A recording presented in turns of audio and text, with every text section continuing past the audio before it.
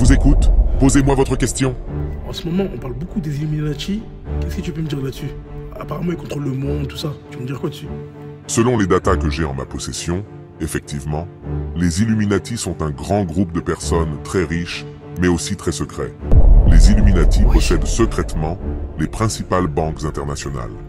Ils manipulent les marchés financiers mondiaux pour s'enrichir tout en maintenant un contrôle discret sur l'économie mondiale. Les crises financières sont orchestrées pour consolider leur pouvoir et affaiblir les nations. Mais pas que. Les membres des Illuminati ont réussi à infiltrer des gouvernements du monde entier.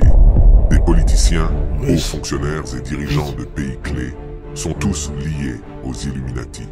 Cela leur permet de dicter les politiques et les décisions à l'échelle mondiale. Ils possèdent également et manipulent secrètement les principaux organes de presse. Ils contrôlent la diffusion d'informations pour influencer l'opinion publique selon leurs objectifs.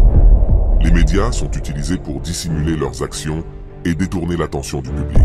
Wesh. Les Illuminati utilisent des techniques avancées de contrôle mental pour influencer les dirigeants mondiaux et les personnalités clés. Cela garantit leur loyauté et leur coopération, tout en éliminant ceux qui pourraient représenter une menace pour leur agenda. Oh la vache. Genre, ça veut dire en gros, ils contrôlent tout en fait. Moi non, mais en tout cas, les gars, dites-moi ce que vous en pensez dans les commentaires parce que là, je pète un câble. C'est brosson de ouf, wesh. Tous.